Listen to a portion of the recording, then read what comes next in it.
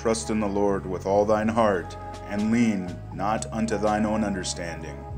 In all thy ways acknowledge him, and he shall direct thy paths. Proverbs chapter 3, verse 5 and 6 of the King James Version Bible. Technology. In 1610s, a discourse or treatise on an art or the arts. From Greek, technologia, systematic treatment of an art, craft, or technique, originally referring to grammar, from techno, combining form of technique, art, skill, craft, and work, or a method, system, and art, a system or method of making or doing. Techna is craft, which is weaving or fabricating, from the suffixed form of root tex, to weave, also to fabricate, like tactile, textiles. The meaning, study of mechanical and industrial arts.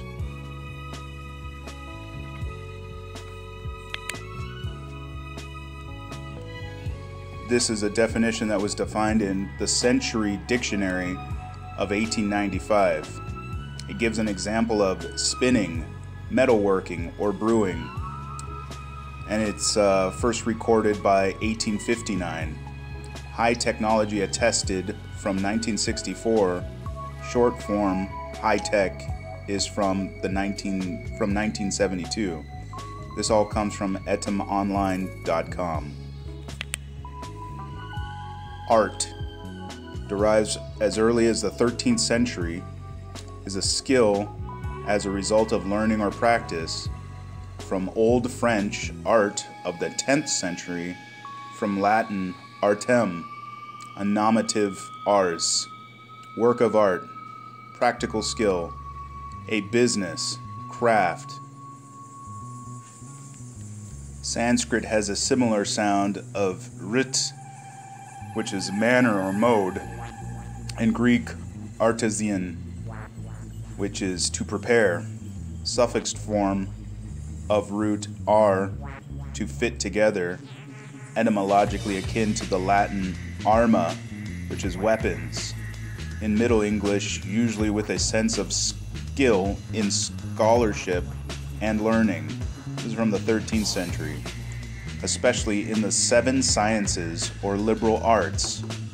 This sense remains in Bachelor of Arts, etc., meaning human workmanship as opposed to nature, is from the late 14th century, meaning system of rules and traditions for performing certain actions, is from late 15th century, sense of skill in cunning and trickery, first attested in the late 16th century, the sense in artful or artless, meaning skill in creative arts, is first recorded in the 1610s, especially of painting, sculpture, etc., from the 1660s.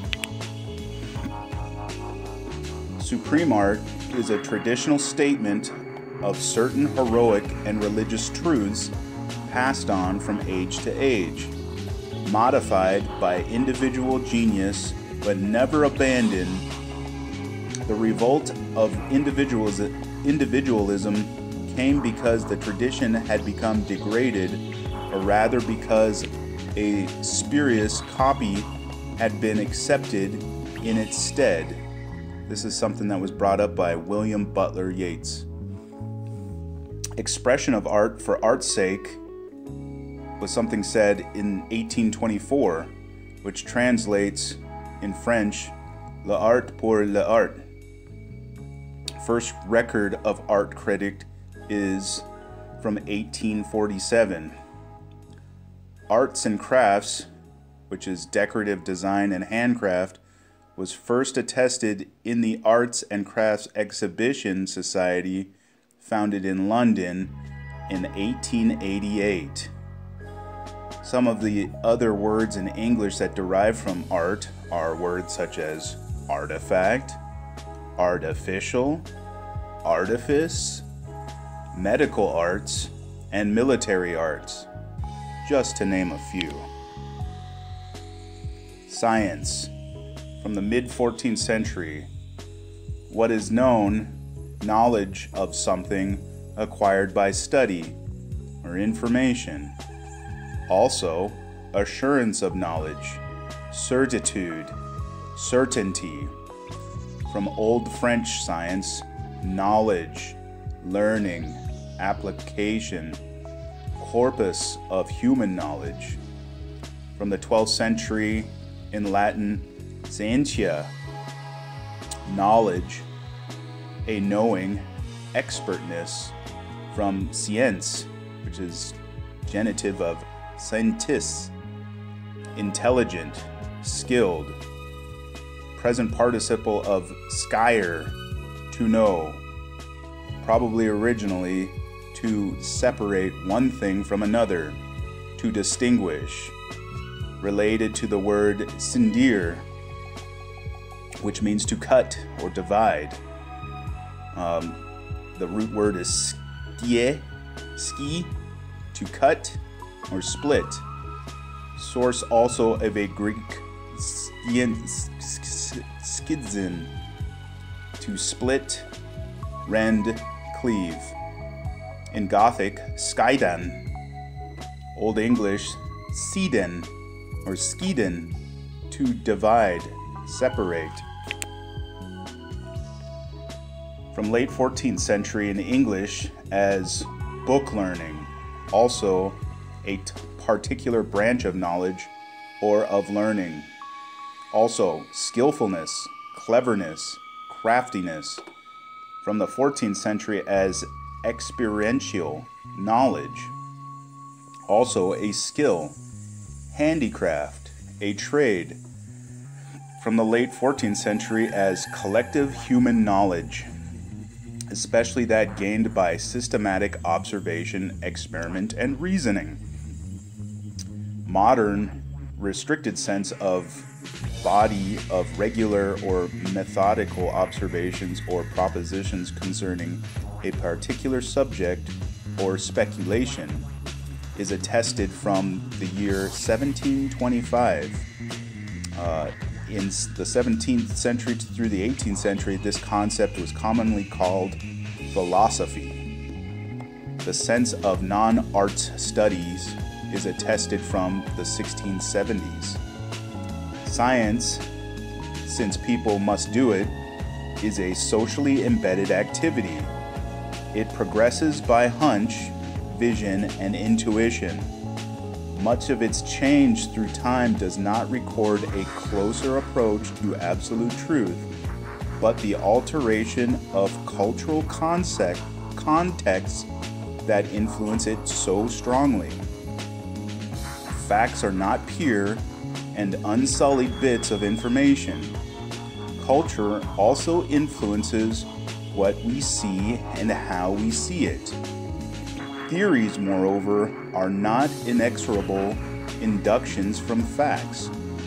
The most creative theories are often imaginative visions imposed upon facts. The source of imagination is also strongly cultural. This is Stephen Jay Gould saying this in the introduction to The Mismeasure of Man, written in 1981. In science, you must not talk before you know. In art, you must not talk before you do. In literature, you must not talk before you think. This is something said by John Ruskin in The Eagle's Nest in 1872. The distinction is commonly understood as between theoretical truth, which is Greek episteme, and methods for affecting practical results, techne, but science sometimes is used for practical applications and art for applications of skill. To blind someone with science, or quote unquote, to confuse by the use of big words or complex explanations, is attested from 1937, originally noted as a phrase from Australia and New Zealand. This is all written in etymonline.com under science. For God is not the author of confusion, but of peace, as in all churches of the saints. 1 Corinthians chapter 14 verse 33 of the King James Version Bible.